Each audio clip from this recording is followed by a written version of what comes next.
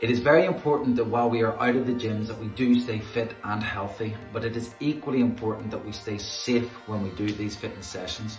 So before you start any fitness session, make sure there's nothing in your way, no furniture or anything that you could fall into and hurt yourself. Make sure that you can move freely side to side and make sure that you can spread your arms out without hitting any objects, okay? Then we can have a safe session. So I have done my pulse raiser now, I have done my head to toe stretch, and I have done my mid body circuit. I'm now ready to go into my leg session and I'm just topping up my stretches with some quads and hamstring stretches before we start our warm up. You should hold each one of these in and around to 20 to 30 seconds before we get started.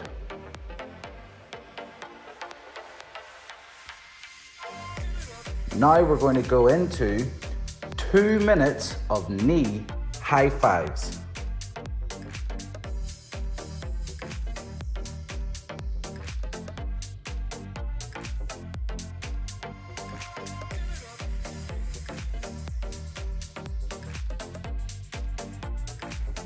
Once your knee high fives are completed, what you need to do now is five times your age in body squats.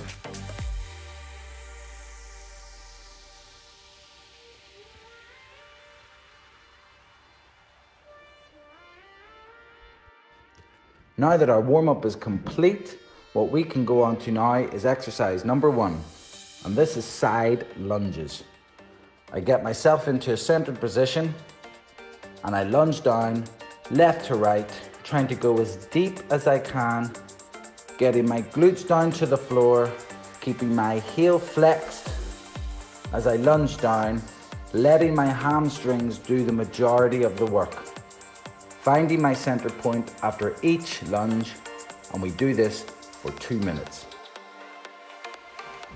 And now we go on to exercise number two, Bulgarian split squat. The Bulgarian split squat is an excellent variation of a single leg squat which puts extra focus on the quadriceps. I place my back leg up onto a sofa and I squat down with my active leg. A great idea to add resistance is to get a backpack and a watermelon. An average watermelon can fetch between 7 to 10 kilograms and is an easy extra way to add resistance. Plus, when you're finished, you can eat it.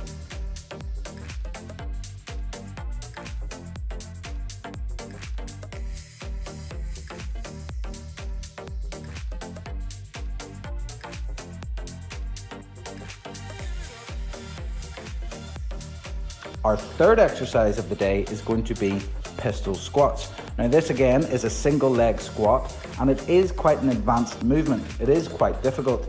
Not only does it hit your leg muscles as it should, it also starts activating your stabilizing muscles and your core.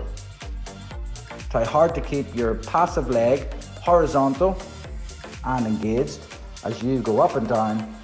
You can add resistance for this exercise with the backpack, but as you are about to see, I would perhaps put the bag on the front of your body because the center of mass is off put and it will drag you backwards.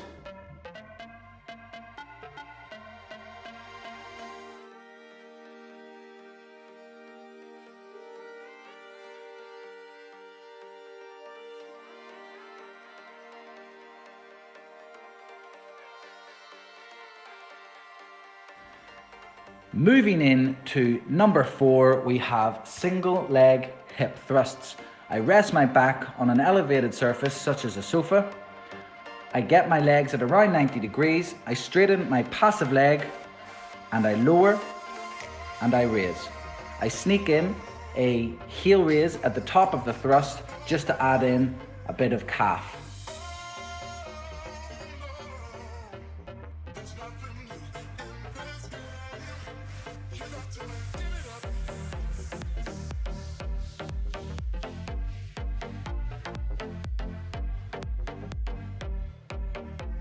Moving in now to our final exercise, and that is single leg calf raises. I find the position that suits me up through the ball of my foot And that's where the energy should flow up through because that is a great way to isolate the calf muscle. I go at a slow tempo because we're relying on the time and not the reps. And I try and get my mind to muscle to make this exercise as efficient as possible.